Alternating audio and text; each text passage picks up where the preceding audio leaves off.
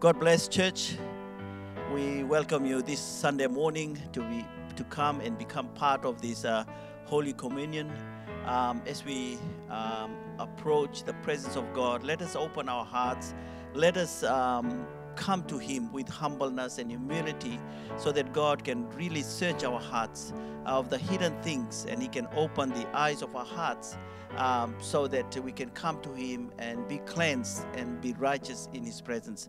Before we go any further, I'll ask Jemima to uh, say a word of prayer. Thank you, Father, for another new day today. Thank you for bringing us here and helping us to be in your presence. Um, pray that you are with us as we take as we take part in this Holy Communion. Um, be with us and thank you for dying on the cross for our sins and thank you for giving everything to us. In Jesus' name I pray. Amen. Amen. Um, just uh, an insight like uh, this uh, morning as we approach the presence of God, there's something that um, God put into my heart, and I reflect back in the book of uh, Luke, chapter 15. It's the story about the prodigal son, which I believe that uh, you guys all know about it. But, uh, you know, I was reading it uh, just lately, and there's something that came to me is that after the, the younger son came back to the father and he confessed his sins, the father took him in, um, put in a new garment, new ring, new pair of shoes uh, on him, and took him inside. And the thing that really caught me is that uh, when the older son came, and the father approached him and, and tried to um, uh, reconcile his son with the younger one. And, and the funny thing is that uh, the father gave a big party, and the younger son, who had committed all these sins, uh, he was uh, forgiven, he was cleansed, and he was in there enjoying the party with, with the rest of the people. And here was this son. Uh, the older one that was with the father all the time, he had not left, he had not wasted the money and everything. But what I found is that um, this older son, he had a problem. He had bitterness against his brother, and he refused to forgive him. He had uh, uh, attitude problem. He was stubborn.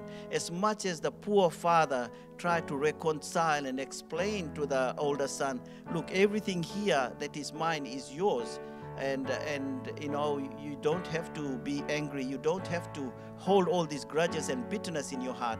Forgive all those things. Let your brother uh, come back into the family. Come and enjoy the party. But uh, you know the the son he was stubborn. He refused to give in. And and, and the, the end story is that uh, the father had to leave the son uh, with his attitude, with his stubbornness, and he went inside the room where the party was going on, where the younger son was in there. And what I found is that a um, lot of times we, we, we look at the practical sins uh, and, and we say that we have not sinned and we have not done this, we have not done that, and we don't need to go and approach God as much as we should. But then when we look at the older brother, he was there right beside the father but his heart was not there.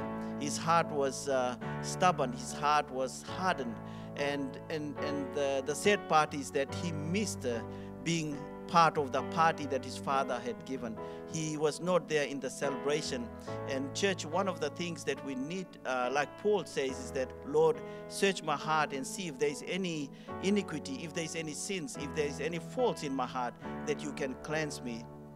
And so today, this morning, uh, church, as we approach God's throne, let us open our hearts. Let us not come with uh, our self righteousness.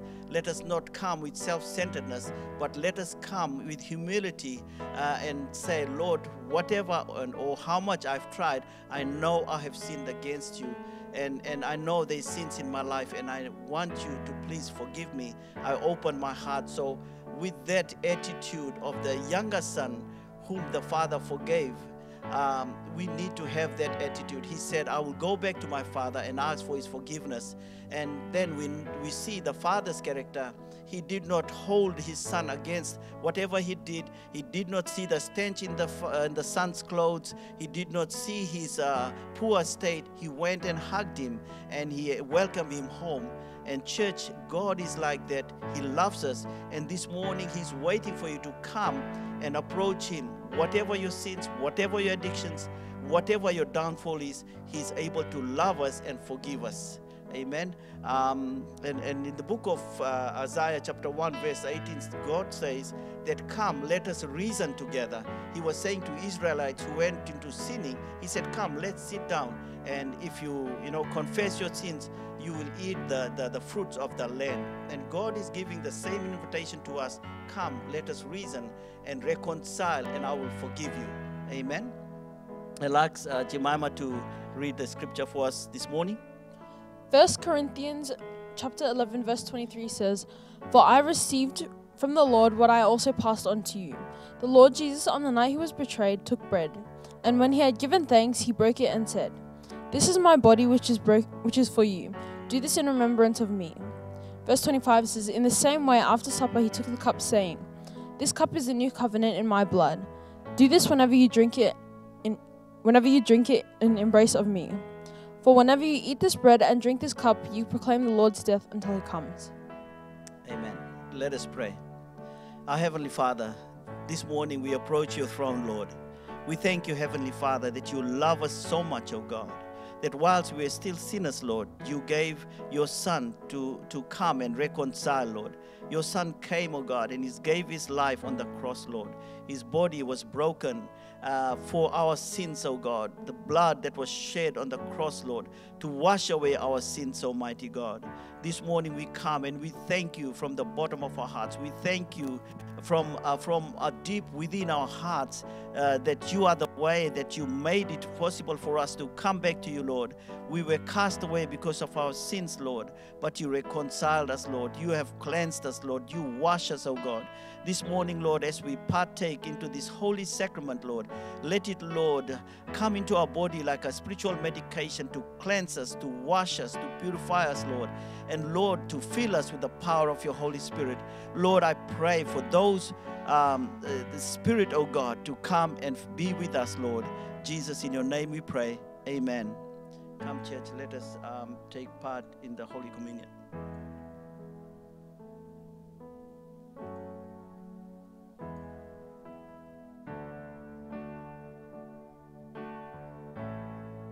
Heavenly Father, we thank you, Lord, for your mercy and your grace.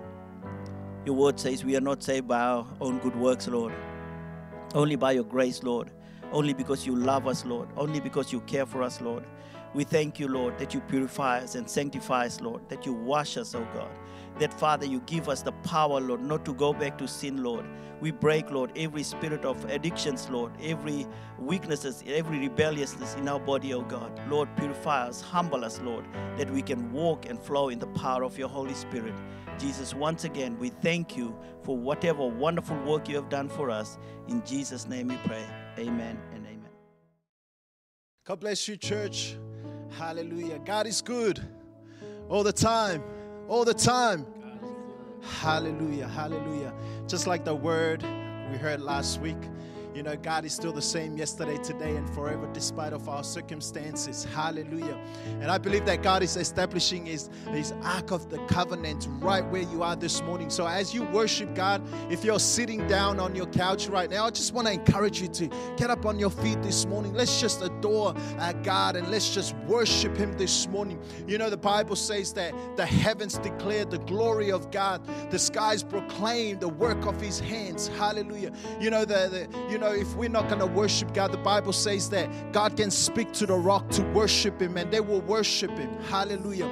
But God created you. You are the ground of His creation and He created you with a purpose that you will worship Him. Hallelujah. We're going to sing this morning. We're just going to join. We're just going to join the, the mountains. We're just going to join all of the earth and we're going to worship God this morning. Hallelujah. Let's just welcome the presence of God among us this morning, Father. We welcome your presence this morning, Father God. Lord, I pray that your Holy Spirit, Father God, will move through at this online service, Father God. Lord, I pray that you will touch every heart this morning, Father God, as we come to worship you this morning. Let us worship you with a heart of gratitude, Father God. Let us worship you this morning, Father God, with the sound of praise, praise, Father God. Yes. Let the words of Hallelujah. our mouth and the meditation of our hearts be accepted to you this morning, Father Jesus, God, as we worship you, Yahweh. Hallelujah. Oh, Jesus, we worship you. Hallelujah. Hallelujah.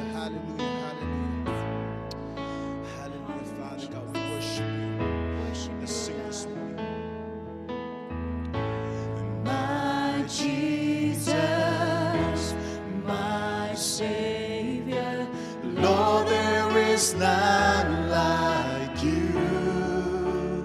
All of my days I want to praise the wonders of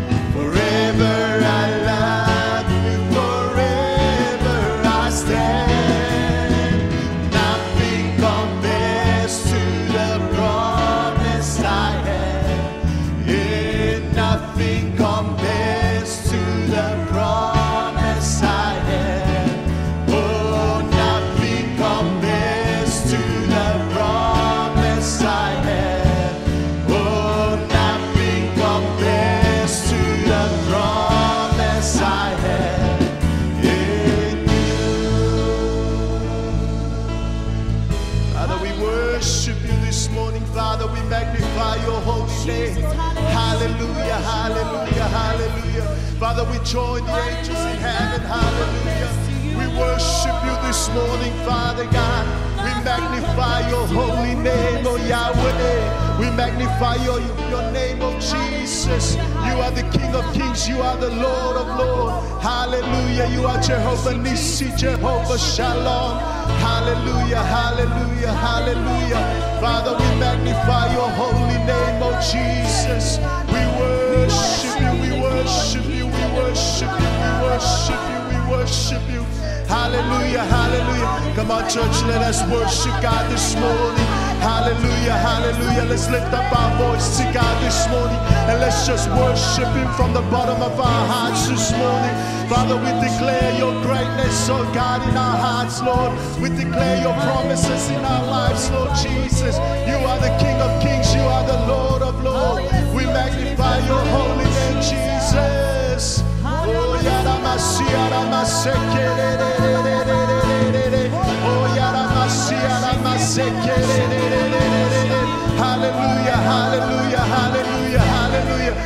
want to encourage church, this morning. Let us not hold back the move of the Holy Spirit. He's right there where you are. Hallelujah. Let's just break in tongues this morning. Let's break up in the heavenly language this morning. Let's just declare the greatness of God in our lives. Oh, Yarama, we worship you, Yahweh. We worship you, Yahweh. We worship you, Yahweh. Suyarama, Father, we magnify your holy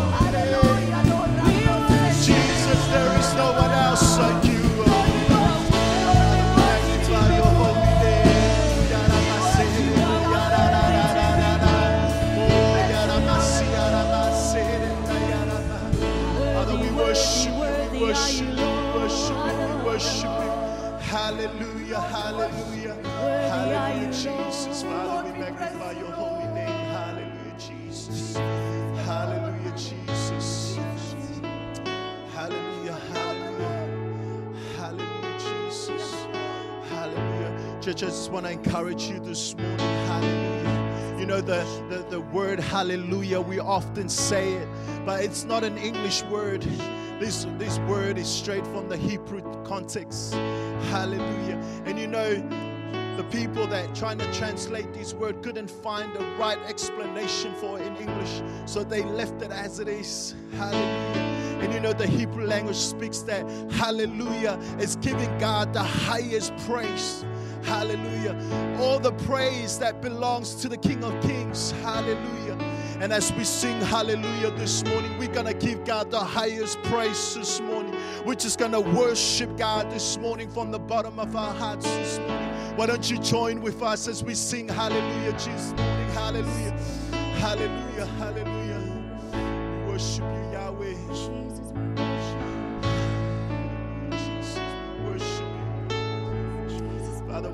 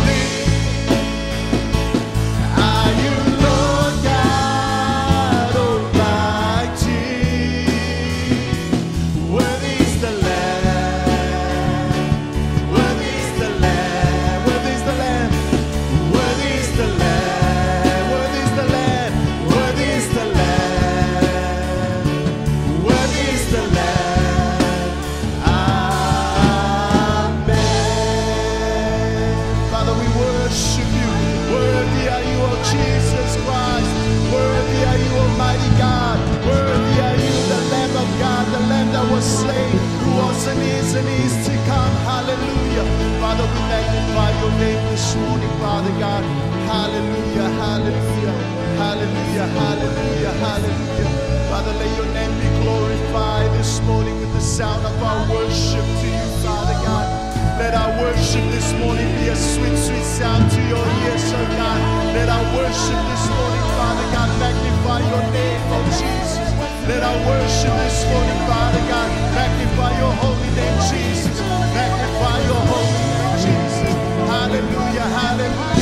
Hallelujah, hallelujah, hallelujah, hallelujah. Let's sing you are holy,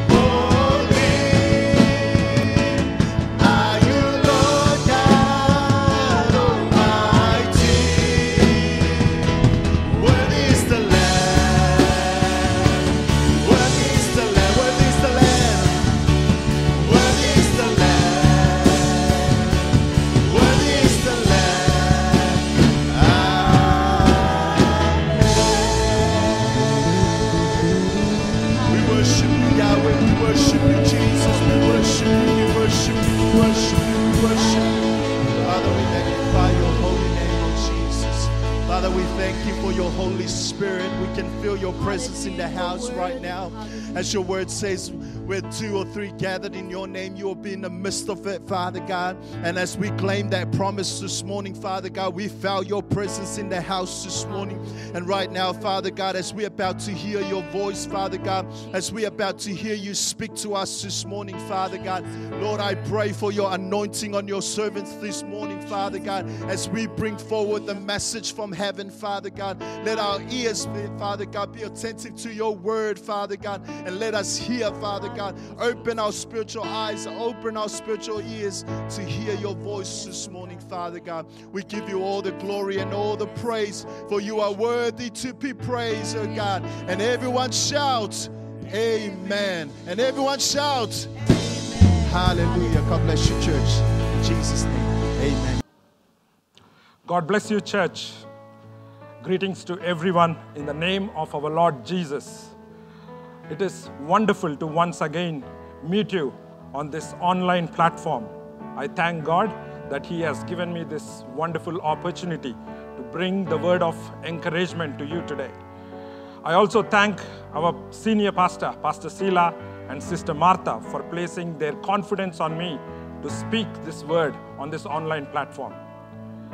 Church, before we get into the word, let's have a word of prayer. Father, in the mighty name of our Lord Jesus, we commit this time into your hands, Lord, and we pray that our hearts may be tuned to, uh, to the Spirit of Father, that let your voice be heard in every child that is listening this, this word of Father God. Father, I also pray that no kind of distractions come into our lives, but help us to stay strong, be focused on your word, and have a renewed mind and be transformed from inside out of Father. I commit this time into your hands and I ask the Holy Spirit God to take control of this place, Father. In the mighty name of our Lord Jesus, I pray. Amen.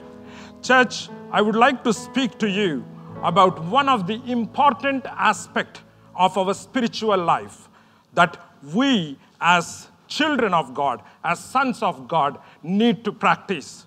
But before that, I would also like to bring across two challenges that each believer, each child of God today faces. Number one, it is the ignorance about the Word of God or the knowledge of God. Well, as children, we do not want to be ignorant about the word, but the enemy always focuses and makes us to be ignorant because he wants us not to understand the word of God completely. He brings in so much of confusion into us that we fail to focus and prioritize word in building up ourselves. So what is it, why is it doing this? It is trying to stop us from understanding the rights and privileges that we as children of God has. Number 2, the second important challenge that we face as children of God is being negligent. Why is it we are negligent today? Even though we know that from our preachers, we know that it is important to practice the Word of God. After understanding the Word of God, we still fail to put it into practice. Well, the book of Matthew, chapter 7, verse 24 to 25 says that anyone who has learned the word of God or heard the teaching of the word of God, but he has not put into practice, it is foolishness. This is told by Jesus himself. Well, why did he say this? Well, when you do not put the word into practice, when you do not apply the word to your life, eventually we forget what we have learned. And when we forget what we have learned, it is very, it is possible that we may fall trapped to the enemy. As children of God, we know that we have a lot of provisions, the rights and privileges. Well, one of, I would like to name some of them. One of the things that we as children of God has is we have every right to overcome every obstacle the enemy tries to bring in front of us. The question I want to ask, how are we reacting to this enemy that is stopping us from overcoming that obstacle? As children of God, we have every right to hear the voice of God. But are we in constant practice of hearing the word of God? This is a question that we need to think. As children of God, you have the power to break every chain of the enemy. You have the power to overcome every stronghold of the enemy. But today, many of our Christian brothers in the body of Christ still struggle with so much of stronghold of the enemy in their spiritual life. Why is this happening? As children of God, we know that we, we have the right to live under the manifestation of the Word of God in the form of miracles, in the form of signs and wonders in our life. But are we today experiencing them? This is the question that we need to think. But more than that, God has placed authority and power to every child of God. Every child that He has chosen, He has placed an authority in them. I want us to gain this understanding because many of us either live in denial of this authority that God has placed, and many of us do not even try to connect in the power that God has placed in our lives. Let me try and explain it to you today. As a, as a believer, when Jesus was there in this earth. We know this story. In the book of Matthew, chapter 28, verse 18, Jesus comes up and he says this, paraphrasing it All authority has been given to me on the earth as well as in the heaven. What does he say? All authority. It is not some part of authority or it is not some area where he has authority. The whole earth and the whole heavens are under his rule. Authority means having complete control, not a part of it, but having complete control. Now, we know from the story that what we have read from the Bible, we all know as children of God, when Jesus made this statement, he was on the face of this earth. He was present here as a person himself. So when Jesus was here, the authority was limited to the place where he was. Suppose if he was in the house of prayer, where the signs and wonders follow him in the house of prayer or to the person he speaks to. But when he has to when he has to do another wonder he used to go he used to go to different places and preach the word and the signs and wonders have followed. This is what the word of god says. But after that we know jesus was lifted up and he is now seated on the right hand side of the father. Now the question is today is the authority only on the right hand side of the father this is a question we need to ask. Of course, the highest seat of authority is in the right hand side of the Father. There are two people that are there. One is Jesus, and the highest seat of authority and power are on the right hand side of the Lord. But let me ask you what do we do today to exercise this authority? Are we exercising this authority? Many believers in the body of Christ today believe that authority is with Jesus.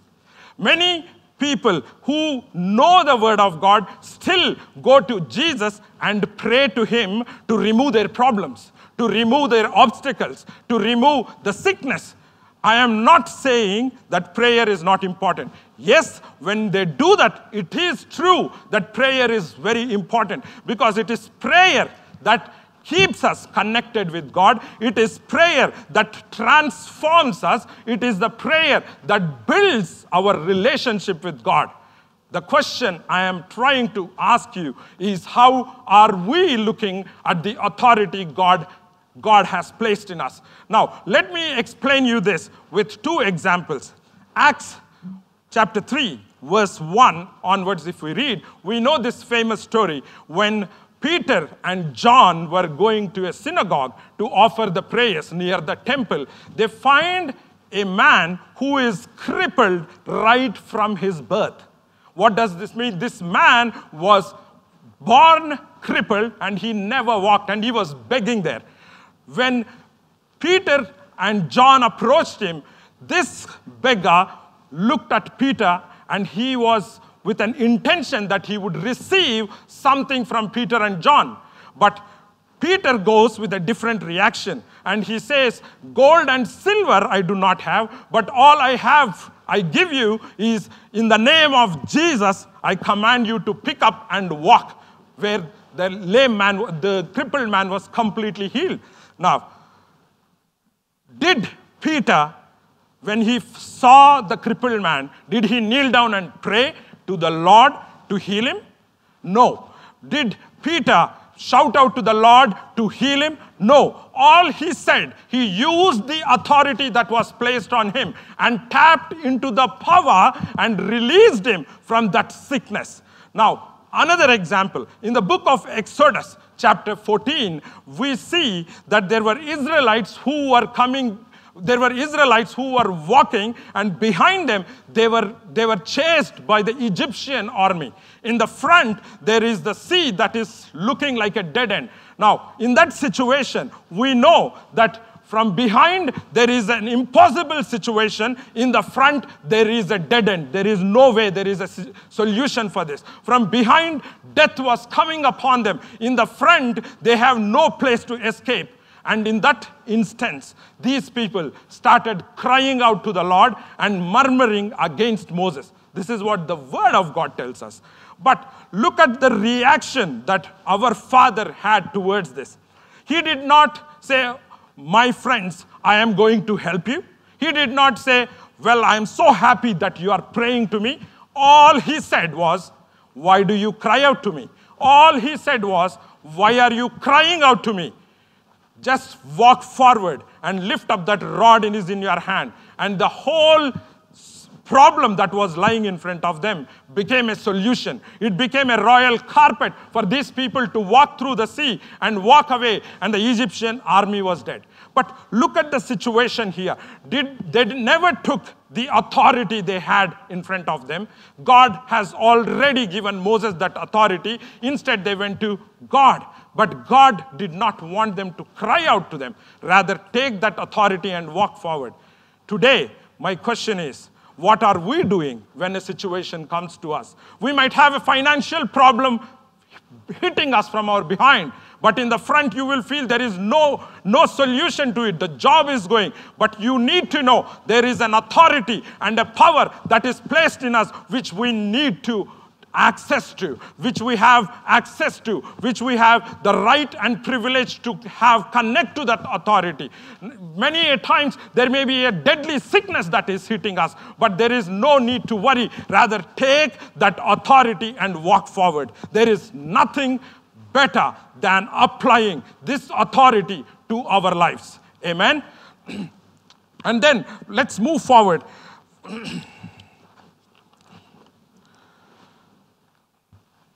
the Word of God tells Jesus is the head of the body, and the body is us who are the children of God, or the church who are the children of God. Now, if we look at the book of First Corinthians, chapter 12, 27, it says, Now you are the body of Christ and individually members of it. Whereas Colossians 1:18 says, and he, he is the head of the body, the church. He is the beginning and also the firstborn from among the dead, so that in everything he might have the supremacy. So it is clear from the word of God, we know that we are the body of Christ and Jesus is the head. Now, the head is seated on the right hand side of the Father. The head is now in the highest seat of authority, who is on the right hand side of the Father. Question If the head has the authority, does the body also have an authority? Question If the head has the power, does the body also has the power? Now, let me give you a small, small example. Suppose I want to drink this water, and my head says, Take up this glass and drink this water. Now, I need my hand to go and pick up and drink this water. I can't, my head cannot do it by, by itself. The only thing is if it wants to drink the water by itself, it needs to put a straw and start sipping it in. But the question today are we listening to the head who is our authority, and it is Jesus Christ? Are we connecting to Him to act according to what the head says? Many of us fail to apply the power and authority in our lives because we do not comply and hear to the voice of the head, which is Jesus Christ, who in the spirit form is still inside of us, speaking to our spirits in order to apply that authority so that you might have a life filled with victory. He wants us to be overcomers. He wants us to be filled with victory. He wants us not to fall as a prey to the enemy. So he placed that authority. Well, is it written in the Bible? Many instances we have seen this being written in the Bible. Let, let me give you two places where it talks about it. First, in the book of Colossians, chapter 2, verse 15, it says, And having disarmed the powers, and authorities. He made a spectacle, public spectacle of them, triumphing over them by the cross. Jesus has already disarmed every kind of power, every kind of authority. We need to know this. If an enemy comes and attacks us in the form of sickness, if the enemy comes and attacks us in the form of a financial problem, if enemy comes and attacks us in the form of some kind of challenge in our lives, we need to understand its power has already been disarmed by Jesus. Number two, he made it as a public spectacle, which means he does not have so much power that he used to have before because Jesus made it as a public spectacle. He made fun out of it on the cross. Number three, he had victory over everything that the enemy had controlled. So, problems may come to us as, as children of God, sicknesses may come to us as children of God, and challenges may come to us as children of God. But I would like to tell you, church, it does not have authority upon you. It cannot stand you. You are more powerful than it. This is what the enemy does not want us to know. In the book of Luke 9 1 to 2, it says, Now Jesus called together the 12 disciples and gave them power and authority over all the demons and to heal sickness. What does this mean? He says, when you exercise the authority, we are more powerful than the demons or the enemy. We are much more powerful than what the enemy can do to us because Jesus is the authority and we are his body con- doing continuous works and different functions and we are placed with the same kind of authority that Jesus had so that we will not fall as a prey to the enemy, but we will use and exercise the authority and we will overcome every act of the enemy. Now, at the same time, he also gave us the power to overcome the sicknesses. He told you to lay hands and the people will be healed.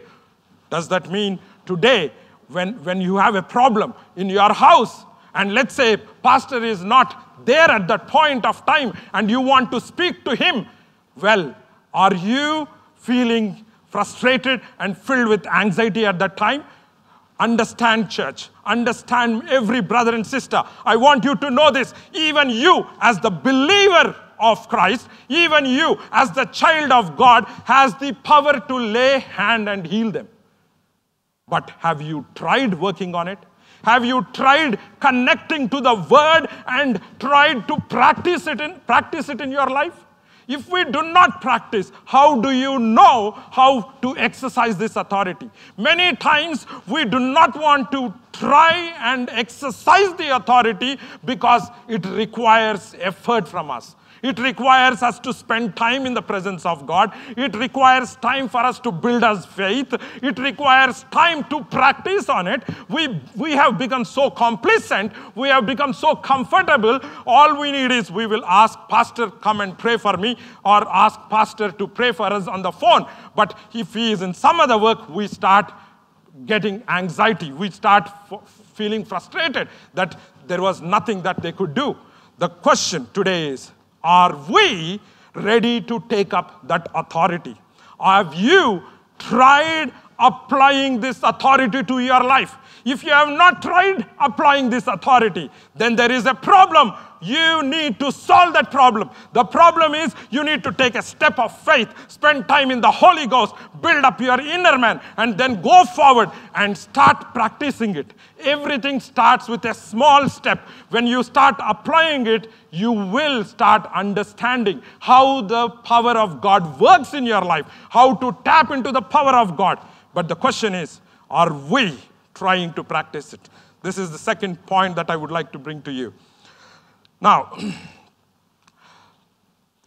because we live in the denial of authority, because we want to be in the comfort zone, we have stopped ourselves to focus on understanding that authority. And the enemy also is looking at the same thing. He does not want you to have understanding about the authority and the power. Why?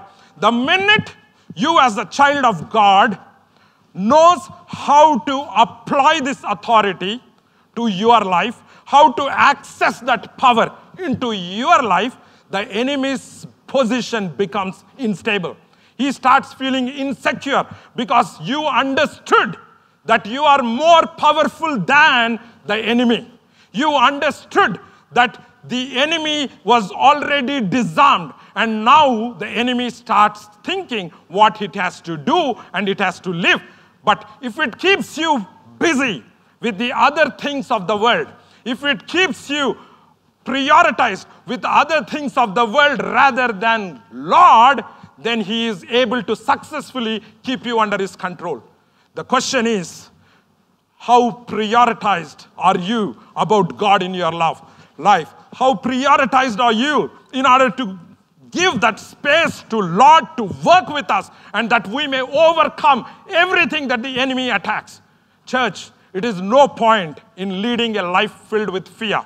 It is more important to lead a life with faith and faith in the Word of God, faith in the power of God, faith in every act of Lord, because that faith will never fail you. That faith will not allow you to drown. It will always lift you because the Word of God will always float, but it will never drown. So I want you to understand, church. You need to take up your Word. You need to spend time in the Holy Ghost. You need to study the Word and meditate on the Word because that is what will help you. Now, before, before we come to the final point, I want you to understand how to tap into the power of God. Let's read from the book of Ephesians, chapter 1, verse 17 to 19. I keep asking that the God of our Lord Jesus Christ, the glorious Father, may give you the spirit of wisdom and revelation so that you may know him better. Look, here Apostle Paul is speaking, and he is telling that I ask the Lord, I ask God, the Lord of Jesus, Lord of Jesus Christ, to give you and me the spirit of wisdom and revelation so that I may know him better. Now, why does he wants to do that? Because when you know the Lord better, when you know how God operates, you know how powerful you are. Now, let's read the next point. I pray that the eyes of your heart may be enlightened, in order that you may know the hope to which He has called you, the riches of the glorious inheritance in His holy people. Well, can you see this?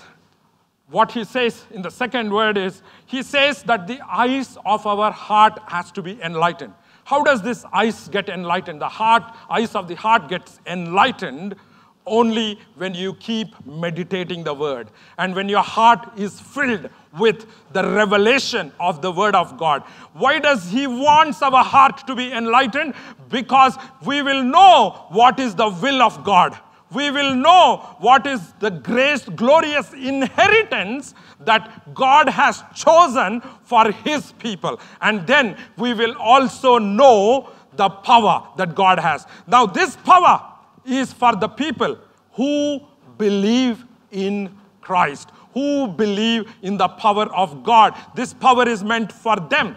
Now, authority is the channel through which you can access the power of God. Without this channel, we cannot access the power of God. Authority plays an important role how you tap into the power of God. Let me give you an example why Paul was telling that you need to, you need to have the spirit of wisdom and revelation. Suppose, for example, if you say, by his stripes I am healed. You might keep on saying that by his stripes I am healed every day, and you can still say sick. You can keep on memorizing that verse, declaring that verse into your life, but you can still say, stay completely out of sickness. You will still be filled with sickness. The same thing when the word of God from the head, who is Christ, if he reveals that revelation into you, and when you speak that word after the revelation has come into you, the sickness has to go away. The sickness should leave you. That is why Paul, uh, Apostle Paul, was so much concerned about having the spirit of wisdom and spirit of revelation because it is the revelation that comes from God gives you the authority to tap and access into the power of God which has been already released into our lives. It gives the authority a clarity on how to apply only when we receive that revelation. Now, moving forward, if we look in the book of Ephesians 3:16, it says, I pray that out of his glorious riches he may strengthen you with power through his spirit in your inner being, so that Christ may dwell in your hearts through faith. Look, strengthening your inner being. This is very important. The question is, strength, how do you strengthen your inner being? The strengthening of your inner being happens when you are constantly exposed to the Word of God, meditating the Word of God, receiving the revelation from a Word of God, receiving revelation from God, and, and, and applying it and experiencing the power of God in your life. That is why he is saying that you need to strengthen your inner man so that you are built up strong inside. When, a, when an enemy attacks you, you won't fall faint to it, but you will approach it with confidence. And now, the second part of it, he says, so that Christ may dwell in your hearts through faith. What does that mean? It requires faith for us to access and tap into the power of God. It requires faith for authority to work in our life. Understanding and using the authority of God has given us the key so that the manifestation of the power of Lord happens in our lives. Even as I close today, church, many of us might have fallen away from our walk with God. Many of us would not even tasted the authority and power of God. There could be so many reasons why we would have fallen away. It could be because you are confused with the way the word has taught you. It could be because you are so busy with what is happening around you in the world. It could be because there are so many problems that are pounding upon you, and as a result, you compromised with the world and started falling away from God. And today, I would also talk to those people who are viewing our online service. If at all, if God is speaking to you today, and if you want to experience the manifestation of God in your lives, I want you to once again to reconnect if you have fallen away and if it is the first time that you want to give your life to God this is the time. I want you to take this opportunity. You do not know how powerful the Lord, our God, Father in heaven is. It is important for you to connect and experience it. But before you connect, I want you to know this. You need to come with a prayer of repentance, with a heart filled with humility that I cannot do anything without you. All these days I have sinned. Lord, today come into my heart. You need to come out with this prayer. The Bible tells us in the book of Romans if you confess with your mouth and believe in your heart that Jesus Christ died and raised, He died for my sins and He raised back and He is still living. And if you confess with your mouth that Jesus is the Lord of my life, you will be saved. And if you confess with your mouth, I have sinned and fallen away, God will once again connect because his hand is big, his, hand, his heart is merciful, his heart is kind, and he wants you as his child. He wants you to be a, to be a good working partner with Him because He needs you to accomplish His purpose. And that is the reason He has created you and me. Church, let us raise up and let's pray to the Lord as we close this service. And I would like you to repeat for those who have fallen away, who, has, who is giving their life to the Lord, this prayer after me. Father God, in the name of Jesus, I commit my life to you, Father. Father, I have fallen away from the life that you gave me. And Father, Lord, I have never known you and understood you. But today, Father, I repent of my sins. And I ask you to once again reconnect with me, accept me as your child, and I would like to follow you. I would want to be connected with you. I ask you in the name of our Lord Jesus. Amen. Church, one final thing before you go. Whatever you learn, it is more important to practice. I want you not to be discouraged about the situations that we are going through, but be encouraged that God, our Lord, who is the highest seat of authority, is with us. And with him, we can overcome everything in our lives. I give the Lord all praise and glory. And I pray that God may bless this word. In Jesus' name we pray. Amen. God bless once again, church. Uh, thank you for joining us on our on- online service this morning. Just uh, hope and pray that you are encouraged and blessed um, by the word of God this morning. So, um, just um, some few notices for our church family. Please, your tithe and offering. Um, see the, the bank details below.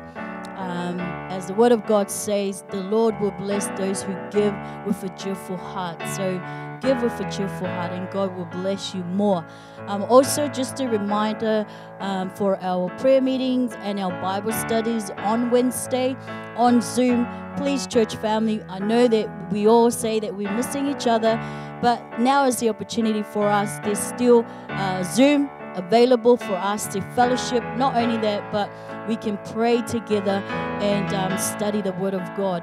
Um, also, please continue to keep our, our senior pastor, Pastor Sila and Martha and Gabby, as well as the whole family uh, during this time.